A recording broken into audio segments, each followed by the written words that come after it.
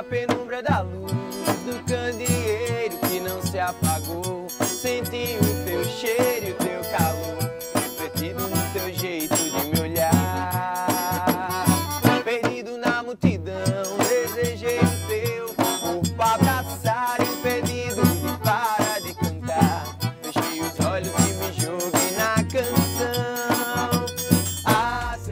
Revista 88, o espaço da Rádio Câmara na TV.